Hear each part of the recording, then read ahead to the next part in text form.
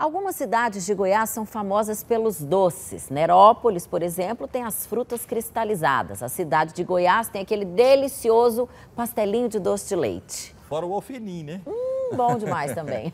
e o bom é que quem mora em Goiânia nem precisa mais pegar a estrada para comer essas delícias. Por aqui já tem lojas especializadas de doces do interior. Vou começar essa reportagem passando vontade em quem gosta de um docinho caseiro. Acompanhado por um cafezinho, então, não tem coisa melhor. Sim, nosso assunto agora é doce. Daqueles que remetem à infância, casa dos avós, cidades do interior, tradições. Guloseimas recheadas de afeto e boas lembranças. Quem aí em casa nunca se deliciou com colheradas de um bom doce de leite cremoso? Ou saboreou um docinho de figo em calda? Ou cristalizado? Tem ainda cocada, pingo, doce de leite de tabuleiro, rapadura e por aí vai. Nesta loja são mais de 40 tipos diferentes de doces caseiros.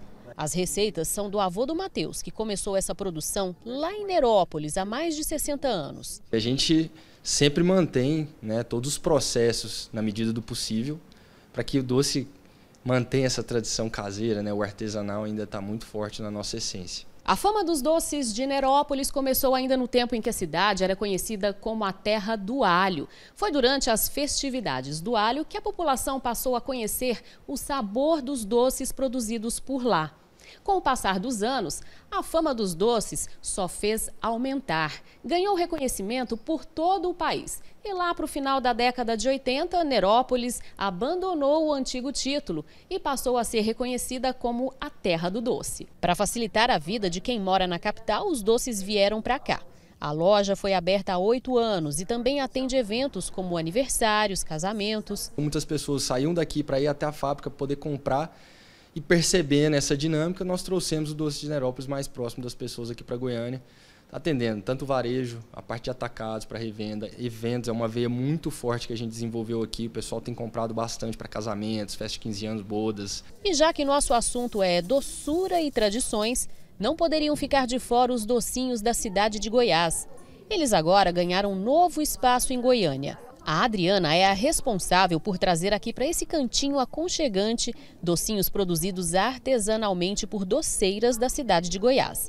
A intenção é saciar a vontade de quem já conhece e quer degustar essas delícias e ainda fomentar a produção artesanal divulgando tradições seculares. Fizemos uma pesquisa para saber quem são essas doceiras, que doce que é, qual que é o melhor de Goiás. Tipo assim, uma doceira que, que fazia doce para Cora Coralina, a receita era da mãe, da bisavó, entendeu? Que veio de lá, entendeu? Que tá lá. E eles são feitos lá na cidade de Goiás e vêm para Goiânia para a gente fazer a distribuição. Tem o famoso limãozinho recheado com doce de leite, pastelinho de Goiás, e a rosa de coco, numa versão glamour, com ouro comestível. Próximo docinho agora que eu vou experimentar, já conheço, mas é só para passar vontade, na Maiara Vila Boa, que é lá de Goiás, que me confessou que adora esse docinho aqui, ó, o limãozinho.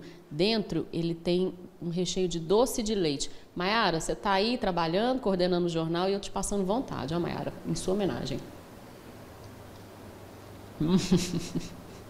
Parar para um café com docinhos, o visitante também tem a oportunidade de encontrar livros e publicações sobre a história de Goiás, curiosidades sobre a capital e nosso estado e biografias de goianos célebres. Uma maneira deliciosa de manter vivas as nossas tradições. A história é tudo. Né? Então, quando você passa num lugar ou vê alguma coisa, ou já comeu aquilo lá na infância, você fala, gente do céu, é muito bom.